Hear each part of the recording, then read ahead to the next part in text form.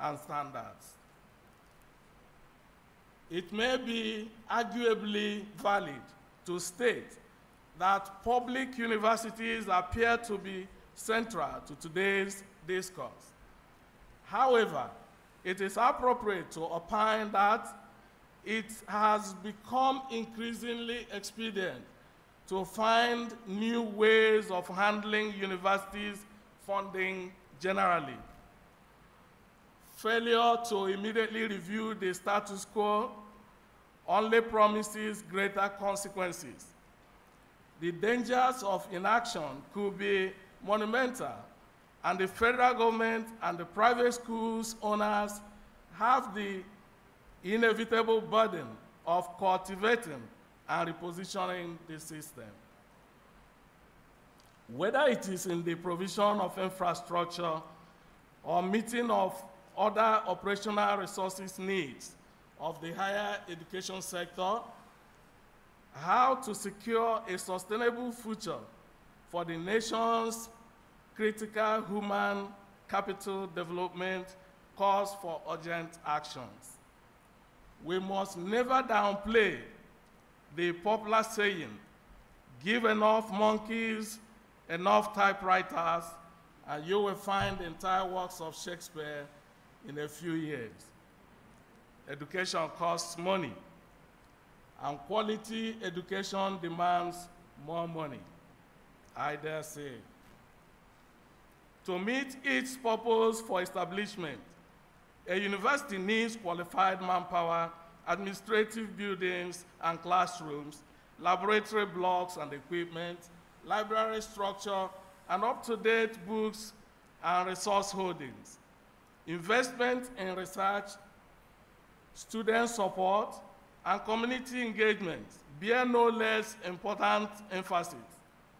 We need the place, the manpower, the students, and modern tools to deliver innovative and cutting-edge knowledge to meet the expectations of today's communities who, on a minute basis, reach out to an ever-emerging global space. We can sum up my whole discourse here to one thing. Quality higher education calls for increased funding. No rationalization can give a better alternative. And the government and the proprietors of higher institutions must back their dreams with naked financial deposit. Naked, I say, because investing in education is not one of the quickest avenues for return on investment.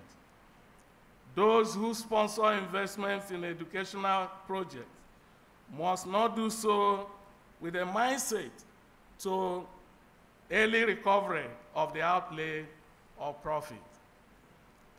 My Mr. President, Vice Chancellor, no matter how slow the returns might seem, not investing adequately today is an invitation to a dismal outcome tomorrow. Those who invest in education do not go into it for mere fun of it. They do because the nation needs quality manpower to back up industrialization, effective and efficient leadership, whether in business, politics, or community life. They invest because the nation must continue to evolve for better as long as and the opportunity for self-development. For a thorough look at where we are, how to get to where we should be as a nation, as an institution, public or private, or as an individual, forms one of the aims of my inaugural lecture today. Traditional sources of higher education funding. We'll find these sections in pages 9 to 20. This centers on how normally the education in Nigeria is funded. And we have three perspectives considered in this lecture. One is public, the other is private, and then the third is individual. On public, we have a combination of the federal government and uh, the state governments. The literature has it that the state funds education as of now to the level of 80%. What that means is that the public universities are so much dependent on what comes from the government. One of the avenues that the government has tried to find solution to the problem of inadequate funding here includes the establishment of the Tertiary Education Trust Fund, TETFund, which comes in the immediate in the area of infrastructural development. Um, I will talk a little bit more about the TETFund in the course of the presentation. Ladies and gentlemen, what we find at present is that because of the situation, what we could consider majorly now, the collapse of the oil economy, uh, and then in Nigeria struggling with the exchange rate, we find a situation where the government is not able to do much of what it's supposed to do. The state governments also depend on the states, the, sorry, the state universities depend on the states. And what we find is that the condition of the state universities is uh, so much closely like the state of the states themselves. Because in many of the states, we find the government owing salaries to workers running up to six months. In a particular place, I will not mention right here now, but you know, some workers are owed 31 months. They were owed 31 months before a new government came in. What happens is that we try to resolve this experience by looking at what we call the African political economy. And what does this say? This one says that when states or governments find themselves in that kind of financial problem, they present education as the least of their troubles. And that's what you find today. They are able to fund, like I mentioned before, they can fund military security and all of the other things, including uh, fuel subsidy, but education is like an afterthought. We have uh, in some of the pages there, page 14, page 15, some tables which you can sit down on your own and look through.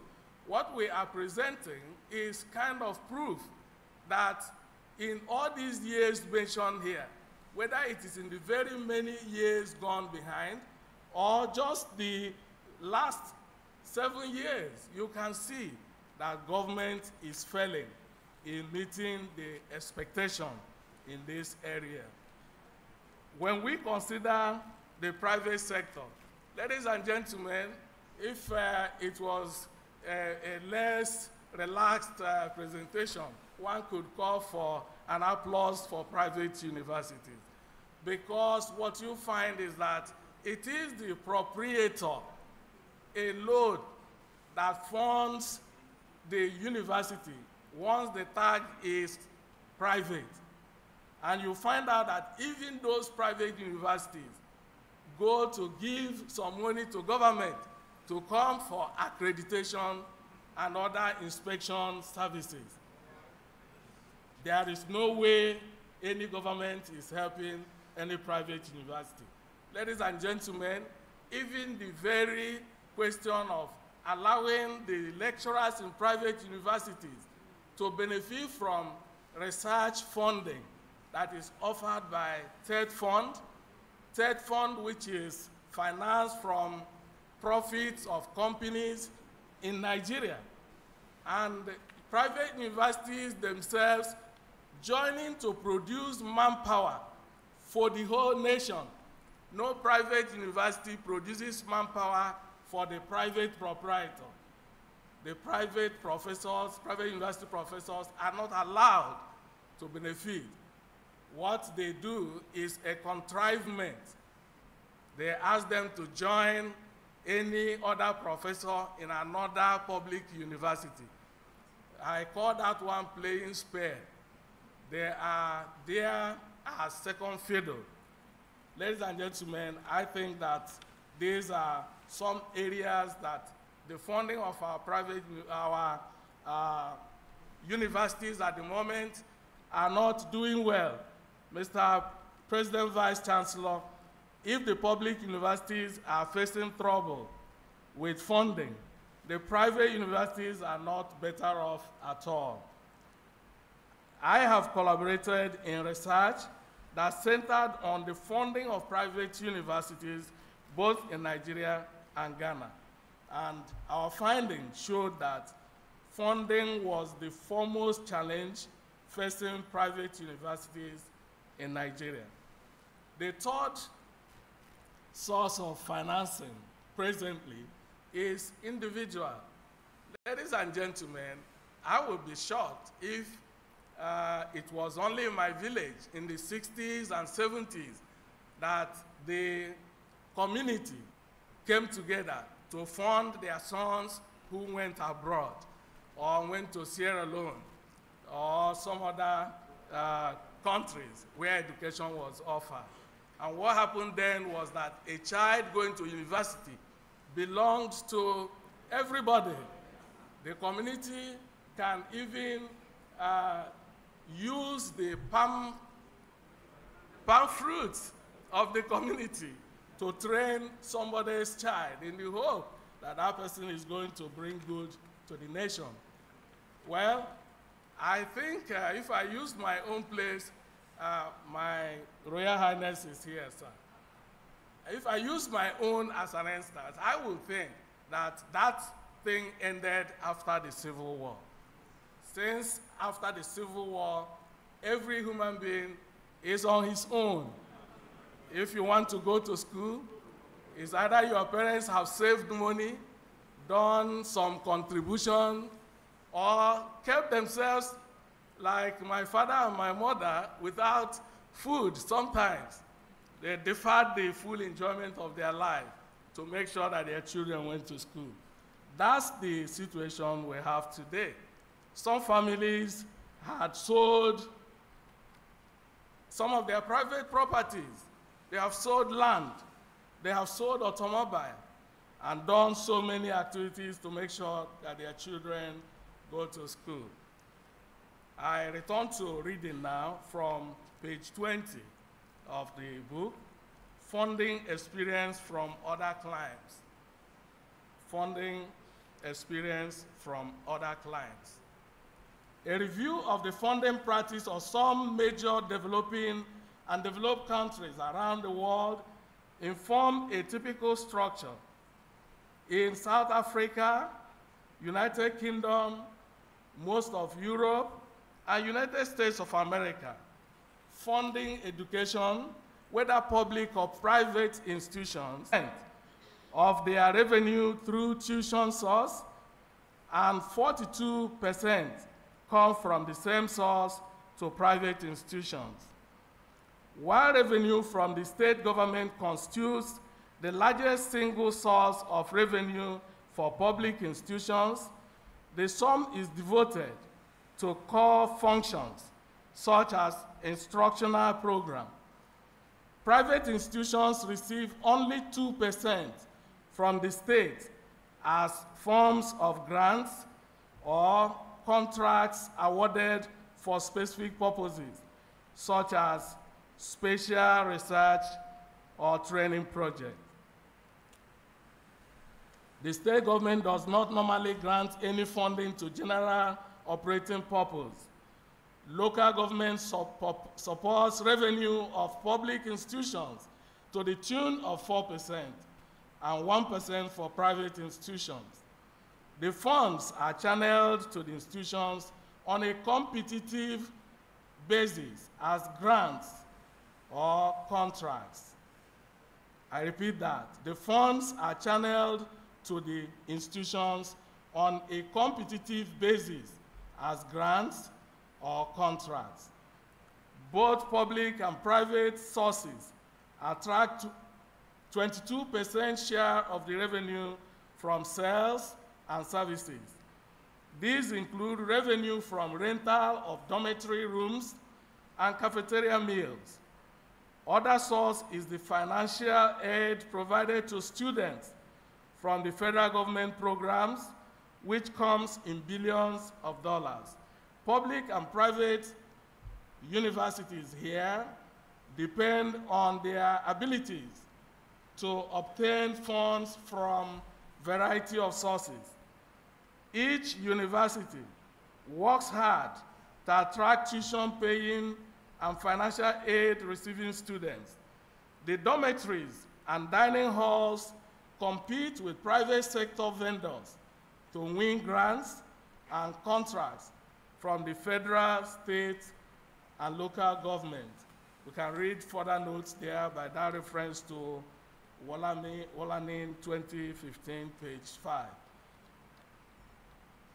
Table 4 provides a summary of the different sources of funds for the university, U, U.S. tertiary institutions. The table evidences that 19% of the funding of public universities came from tuition fees, while that of private institutions were 42%.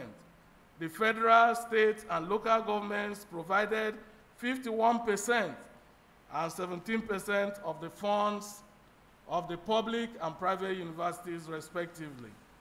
In the foregoing notes, ability of the institutions to compete for resources is of huge prominence in forms of contracts, awards, and consulting services. You can look at that table to see summary of those uh, figures. In Wales, higher education sector is funded by the Higher Education Funding Council for Wales. The council has responsibility to distribute funds for education, research, and related activities at higher education institutions in Wales. The council also funds teaching activities of the Open University of Wales and the higher education colleges. The Welsh government provides the funds and the Higher Education Funding Council of Wales to secure high quality higher education, learning, and research, make contribution of higher education to culture, society, and economy of Wales, allocate the university's tuition grant for full-time undergraduate students, and it ensures high-quality accredited teacher training across Wales. The point of these references is the endorsement of quality, strategic distribution of government funds to Welsh universities and colleges. I will stop it there. The point made is that their own use of resources targets quality and strategic distribution. But in South Africa, we find a system that is likened to that of the United States. The basic source of financing are the Department of Higher Education and Training block grants based on the system of full-time equivalents and student fees. For most universities, the state support on average accounts for more than two-thirds of their unrestricted revenue. All the universities in South Africa, public or private, charge tuition and receive government support of varying proportions as well. While it can be said that each country reviewed here adopted a system of universities funding of their conviction, The motive appeared to be directed towards ensuring improved and quality performance of the universities. Manifestations of underfunding of higher education in Nigeria. We'll find this in pages 25 to 34. And I will just mention some of the key, the highlights of some of the things that are wrong with underfunding. Number one is long-drawn strikes by the academic and non-academic unions. This one does not need much explanation in Nigeria because we live with it. Number two, unpaid salaries, allowances, and non-competitive packages. Lecturers who are here know what I'm talking about. Your salaries are not the best. You cannot compare your salaries with those of politicians or some other persons who are in better organized systems in the private sector. So what we find here is that even what is promised, paying it when it comes to public universities is not something that is common. I know I have said before, places where workers are owed very many months, and each time they see their alert on the salary heading, they go to church and give thanksgiving. Number three, poorly equipped laboratories and libraries. The librarians and the laboratory technologists who are here will agree with me that what you have in your laboratories today can be better. It's not what is supposed or what can give the cutting edge research that the nation needs for innovative products and uh, students, sorry, graduates who can make the difference that is needed to transform our country. Because there is not enough money, many of the laboratories are empty. If you have not tried to do uh, research for some areas of PhD studies in the sciences, you will not understand the magnitude of the problem we're talking about here. I'm aware of a student who had to send some of the research materials to South Africa to do the analysis because the equipment we have here cannot do. And I know another that has been constrained from graduating because they cannot get the right equipment to. And of course, in the libraries, you find books. Many of them have large volumes, but volumes of what? Volumes of donated books which are written with the foreign background that cannot bring any solution to our problems because those were donated uh, to those libraries. Number four, debt of ICT infrastructure. Well, maybe some of you are aware, and I do know there are many, that there are some computer students in some of the public universities. I'm sorry, I'm discussing your problems. Who went through the school without having up to 10 hours of computer practicals before they graduated? That is really a sad situation. Go to the, I'm aware, uh, used to say we should not use what we find to make public uh, lecture. I will not call names, therefore. Some places you go to and you find out that the computers in the computer laboratory don't bear the names of the universities. And when you put your feet down to find out why, then you realize that those computers were actually borrowed for the purpose of that accreditation. That's where we find ourselves because they don't have. The money is not enough. inadequate hostel accommodation. Maybe Babcock University students should be rejoicing because here I'm sure the university provides accommodation for up to 98% of the population enrolled. There are places where students just have to go to the nearest places in the corner and look for accommodation. My uh, vice chancellor in Adeleke University will agree with me that in his days in the University of Ibadan, it was a proud thing to be uh, a citizen of uh, uh, a hostel. Your accommodation was something that you, you put your hands like this to walk about and talk about. But that's not the case today. You find students, and of course, talk about uh, uh, where they stay to foment trouble for the university. They stay outside the university and uh, get into cultist activities. Uh, then they come back and fight their institutions. Insufficient funding of research. This is another very unfortunate situation. How can you transform the nation if in teaching the students you yourself cannot conduct a research that can make a difference? Because everyone that conducts a research has to use his own personal funds to do that. Only very few private universities, if you are lucky to be in one of these, that will grant cash to their workers to go and conduct research. The rest of the places, you are just on your own.